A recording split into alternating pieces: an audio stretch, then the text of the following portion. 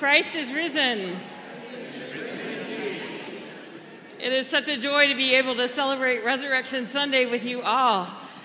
We were uh, blessed this morning by, by an actual sunrise. Uh, we didn't look like we'd get a sunrise this morning. It was pretty cloudy, but just about an inch of, of sky above the horizon uh, was, was actually clear. And you, I wish you could have seen it. For those of you who were there, you saw why it was kind of magical. Pastor Cinda was preaching, and just as literally, not making this up, just as she said the words, the gospel is true that's when the sun broke above the horizon.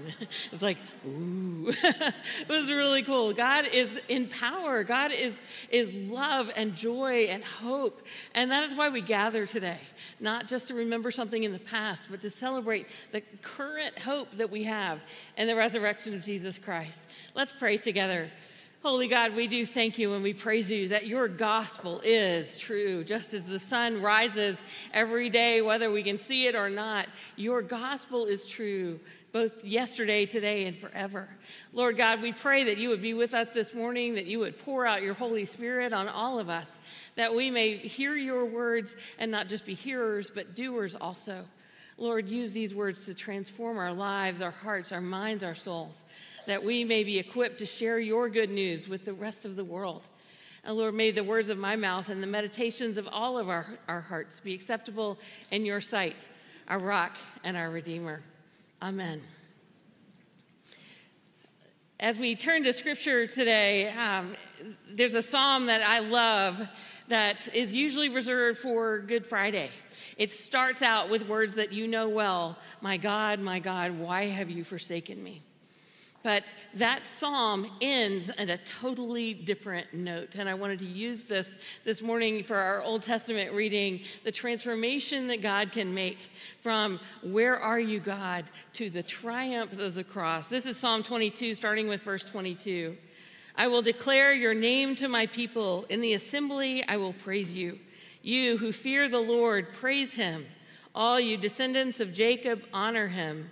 Revere him, all you descendants of Israel. For he has not despised or scorned the suffering of the afflicted one. He has not hidden his face from him, but has listened to his cry for help. All the ends of the earth will remember and turn to the Lord, and all the families of the nations will bow down before him. Posterity will serve him, future generations will be told about the Lord. They will proclaim his righteousness, declaring to a people yet unborn, He has done it. Amen. So let's turn over to the familiar story. This is the, the, the, Gospel of Luke's version of, of the resurrection Sunday morning. This is Luke 24, starting with verse 1.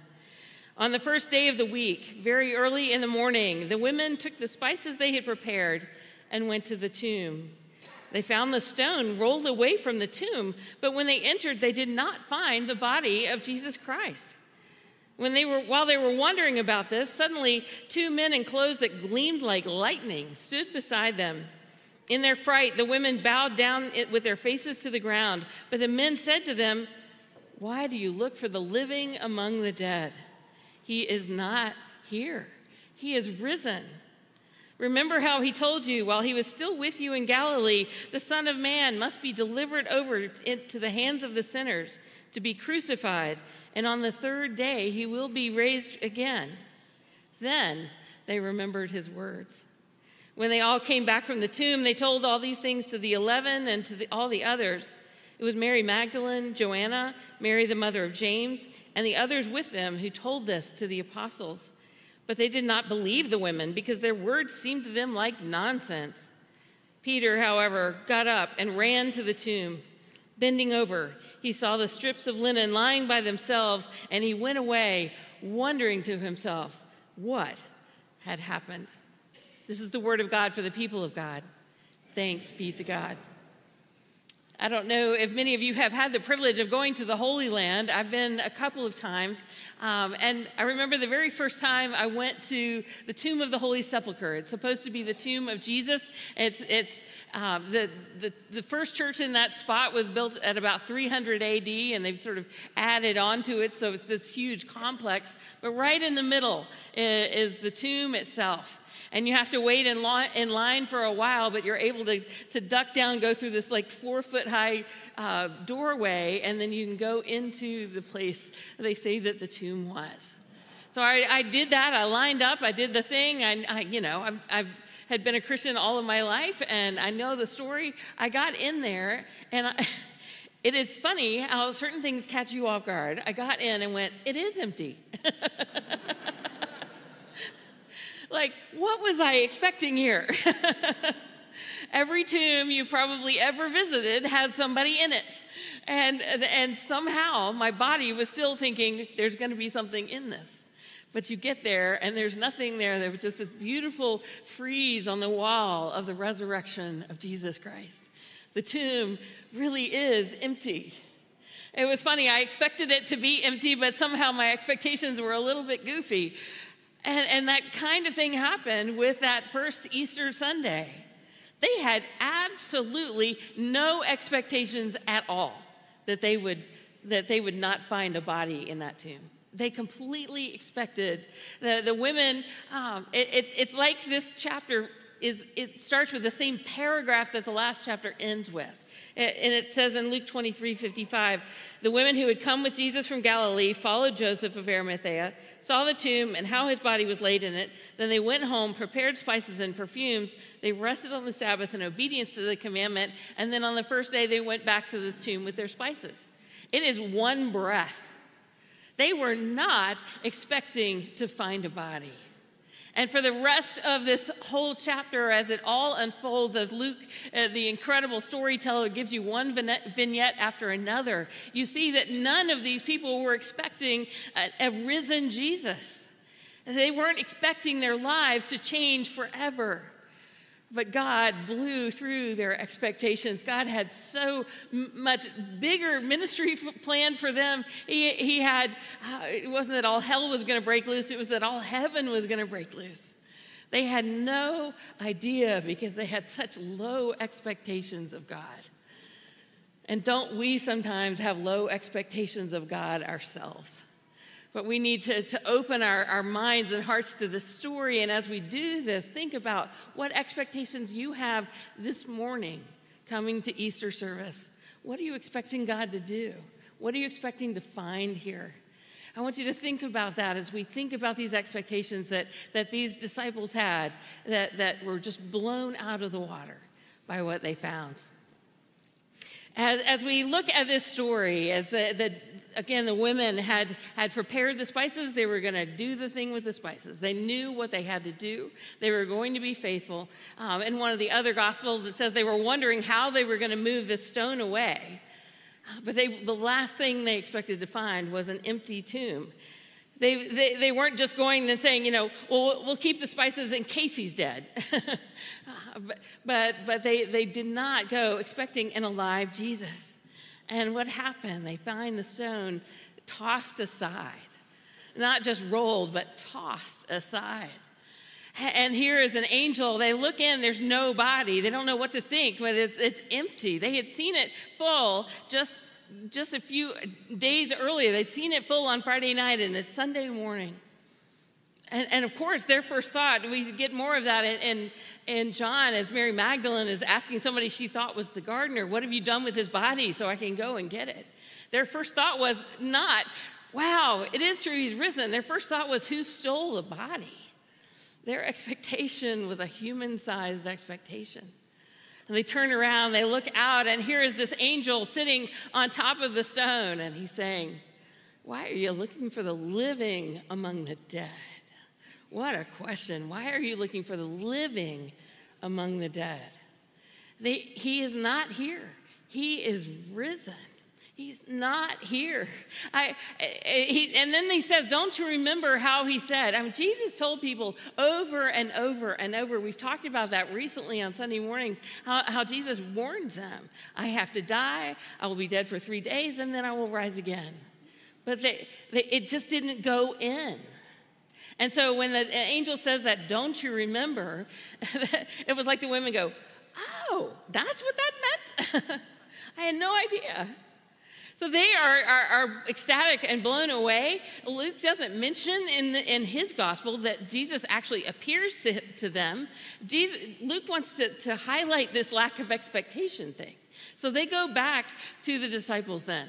How do you think the disciples are going to receive this news? The disciples had been taught, just like, uh, just like the women had, that, that Jesus was going to die and be in the tomb for three days and rise again. But when the women come to the, the disciples and tell them what happened, the disciples literally think they're nuts. Luke uses a medical term here, but it's for mental illness. It's like it's the root word that we get the, the word delirious from. They thought they were, these women were delirious.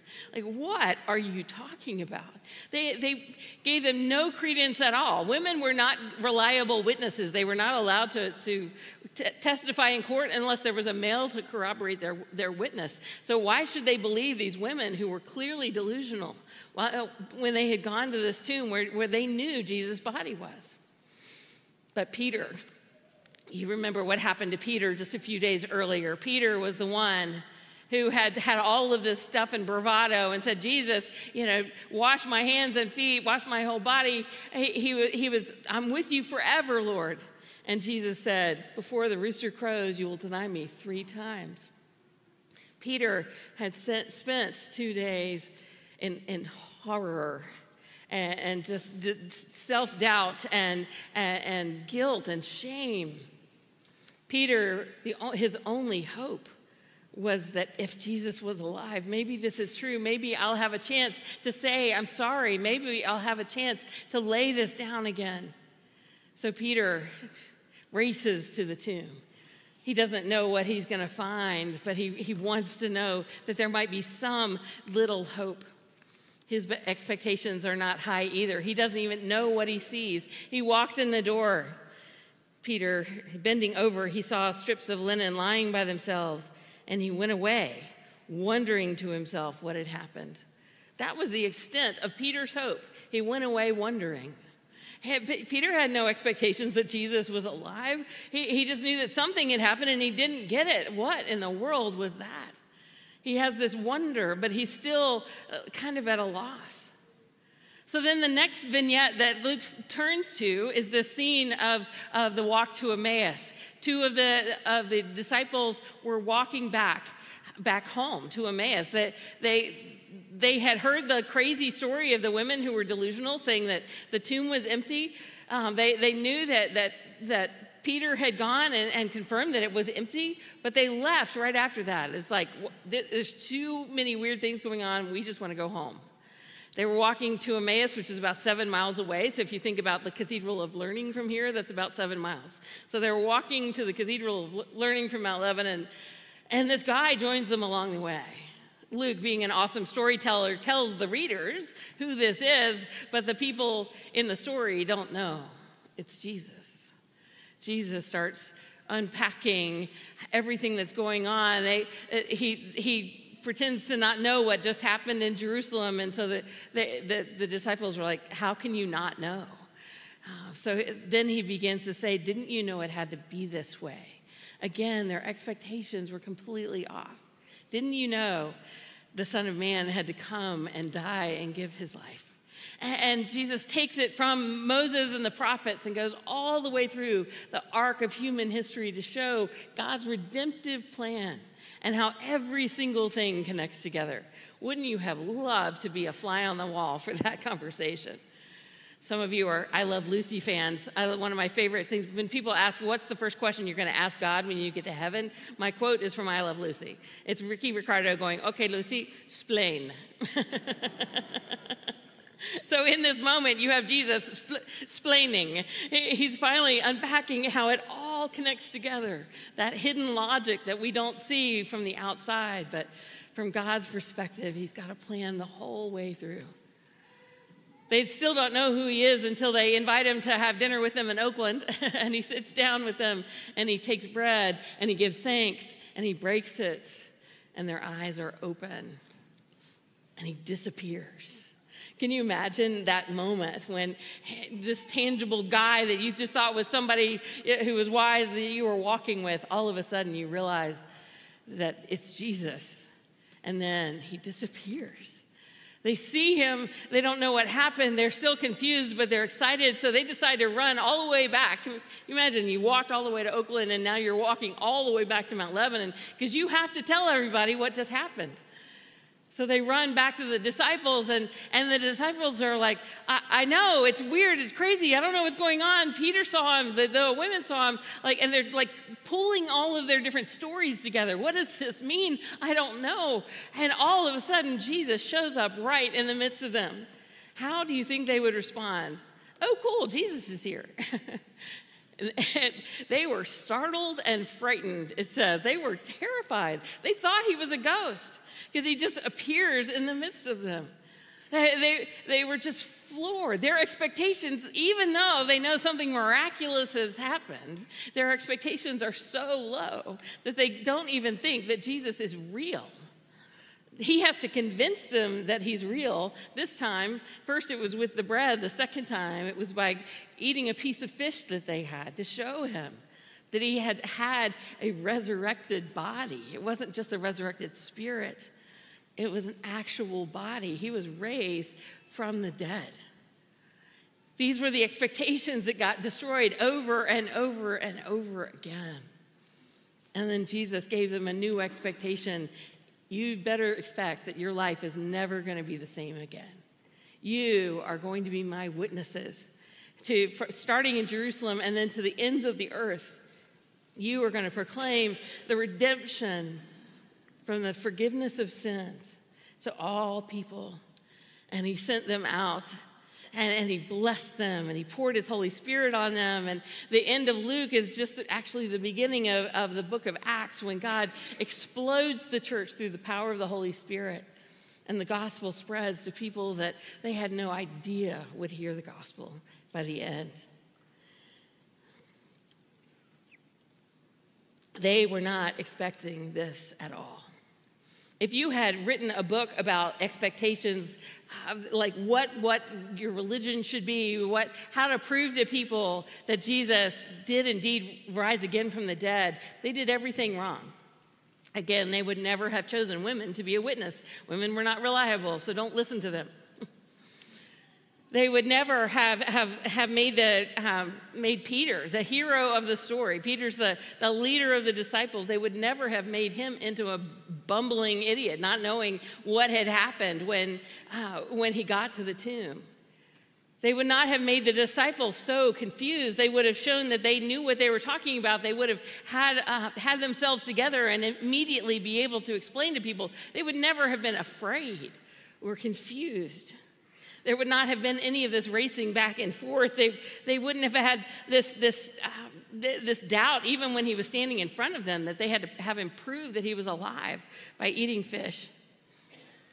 All of these different pieces are evidence that this story, as crazy as it is, is true. This, this bunch could never have pulled off such an incredible hoax against the, the Roman soldiers, this, all of the Roman armies that were surrounding them. Instead, they, this is a raw story of real people with very human reactions, and their lives were changed forever.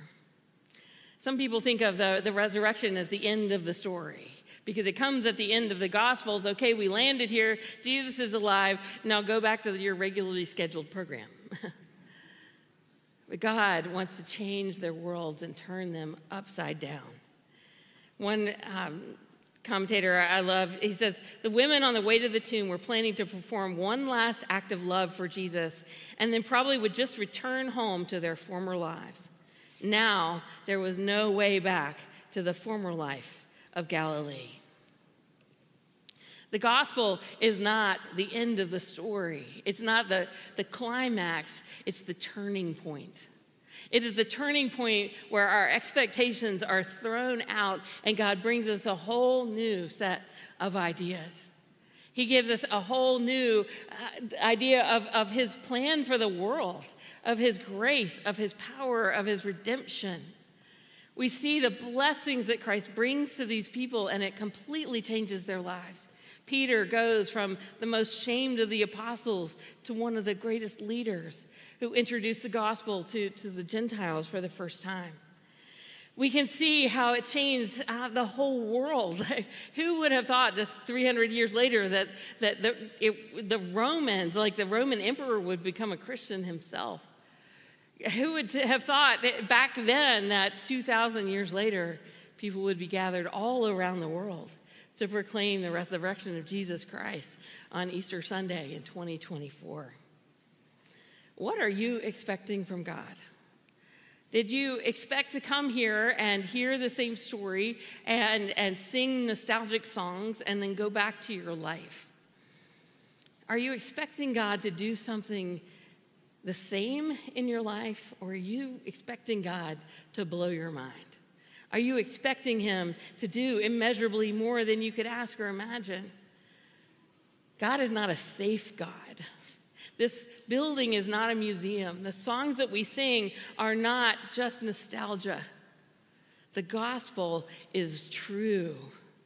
It is as true as that sun breaking through the horizon this morning. It is true for every single one of you. It is true when we feel like awful. It is true when we are as happy as we can be. It is true on the battlefields of this world. It is true in the political arguments of this world. Jesus Christ is risen. There are no earthly powers that are stronger than Christ. Jesus Christ has conquered sin and he has conquered death. He has conquered the brokenness in our lives and he's conquered the brokenness in this world, and we desperately need his healing power. Right now, we are living in this in between time. He is risen and he will come again. We are right now in the reality of his kingdom come on earth but it is not completely fulfilled until he returns. So right now we wait and we say, God, we know that you are here. We know that you can do more than we can ask or imagine, and we want to see it right now. We are not just going through the motions, we are not making the spices to anoint a dead body. We are saying, Jesus Christ, you are the living Lord, and we want to see it. We want to see it in our lives. We want to see it in transformed lives around us. We want to see it in healed communities and healed uh, nations. We want to see it in transformed addiction. We want to see it in reconciled families. Lord, we want to see your amazing power. Oh, Lord, give us the words. God has given us the message. He wants us to be the witnesses, you and I. How would you feel if you showed up at that tomb and found it empty? And then found an angel saying, He is not here, He is risen from the dead. And then finally met Jesus face to face. I love that scene with Mary Magdalene as she sees Jesus and realizes who he is and goes to, to hug him and hold him forever. And he says, Excuse me, don't cling on to me. I have a message for you. I have a mission for you. I am sending you out. God wants to, to give every single one of us a mission to tell not only the people around us, but the world that Jesus Christ is risen from the, from the dead. Whatever your expectations were, this changes everything. Let's pray together. Holy God, we do thank you and we praise you that your resurrection changes everything in the world. It changes how we expect our lives to go, it, it changes how we expect church to be, it, it changes the way we see the world. Lord, forgive us for the times that we have such low expectations of you. Lord, we, we don't even realize that you can change everything. Lord, we pray that you would help us not only to live Easter Sunday as you have risen indeed, but that you would help us live Mondays and Tuesdays and Wednesdays, knowing that you are the resurrected Lord. The stuff of earth, the things that we cling to for security and safety, are, are just dust in face of the resurrected power of Christ. Lord, we, we put such low expectations on your power at work in us. Lord, help us to, to pray with boldness, knowing that you love to answer prayers. Lord, help us to proclaim your grace and your truth, knowing that you are a God who changes hearts. It's not our words, it's your Holy Spirit that leads people to you, but we just need to be faithful with the message. Lord, give us courage with that. Lord, I just pray a special dose of the Holy Spirit on everyone gathered together today. that they would sense your presence, that they would sense the reality of your resurrection, and that it would change their lives and their expectations forever. Lord God, we never expected to be brought out of being from being orphans into being children, daughters and sons of a king. But Lord, you adopted us into your family. You call us your dearly beloved children, and you invite us to pray as Jesus taught us to pray Our Father, who art in heaven, hallowed be thy name. Thy will be done on earth as it is in heaven. Give us this day our daily bread, and forgive us our debts as we forgive our debtors. And lead us not into temptation, but deliver us from evil. For thine is the kingdom and the power and the glory forever. Amen. Please rise now as we affirm our faith in Jesus Christ through the Apostles' Creed. I believe in God, the Father Almighty, maker of heaven and earth, and in Jesus Christ, his only Son, our Lord, who was conceived by the Holy Spirit, born of the Virgin Mary, suffered under Pontius Pilate was crucified, dead, and buried. He descended into hell. The third day he rose again from the dead. He ascended into heaven and sits on the right hand of God the Father Almighty. From there he will judge, judge the living and the dead. I believe in the Holy Spirit, the Holy Catholic Church, the communion of saints, the forgiveness of sins, the resurrection of the body, and the life everlasting. Amen. You may be